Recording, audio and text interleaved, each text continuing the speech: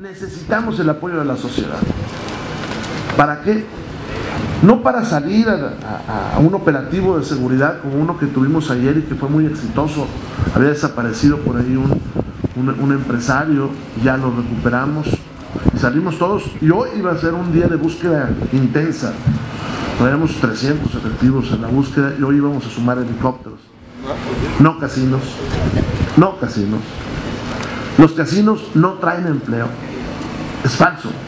Los casinos se llevan la lana de aquí y a los primeros que le pega es al comercio organizado. Y hablando de los autos americanos, le pegan a nuestra industria.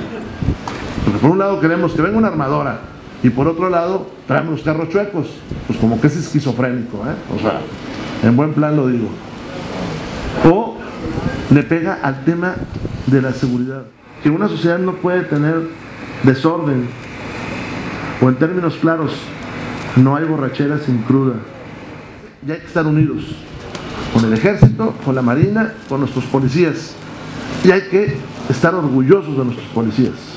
Son los que se juegan la vida ahí por nosotros, pero hay que ayudar. Yo sé que los empresarios de Saltillo, igual que ellos, los de la comarca lagunera, nos van a apoyar con esos puntos de vista que además en términos económicos perjudican al comercio local y perjudican a la economía local.